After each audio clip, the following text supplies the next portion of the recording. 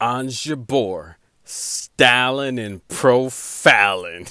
yes, baby. Jabeur, my favorite player in the building, the best shot maker on planet Earth. That's a fact, ladies and gentlemen. She's a show woman. She's always putting on a show. She's amazing. But listen, guys, she has never made it to a quarterfinal here in France. Never. She's never even made the round of 16 here in France. Can she do it today, ladies and gentlemen? Taking on Olga, who's the hottest clay player in tennis. She's won 10 in a row. She's won five straight here in France. She hasn't even dropped a set coming through qualifiers. These are the players to watch out for. I say it all the time, right? I say it all the time, don't I? Of course I do. Olga beat Sara Sorribes Tormo in Madrid for the title. Yes, she did that. She was down 4 1 against Jasmine Paolini and came back and won.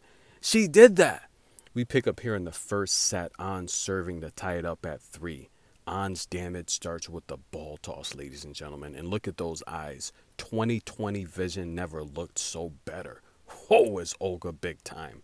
She returns the shot from Ons. And I'm going to tell you right now, all tennis fans around the world, Tunisian tennis fans, take your flags Wave them around your heads like a helicopter, baby, because Ons Jabeur is in the building.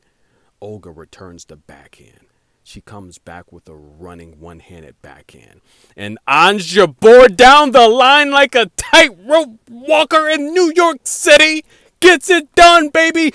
Barely hits the line. It's in. She saves the first break point of the match. That's right. Olga had break point on Ons. Unbelievable. Ons down the line like a tightrope walker in New York City above the skyscrapers. She gets it done. She saves the break point. We're tied at 3 3.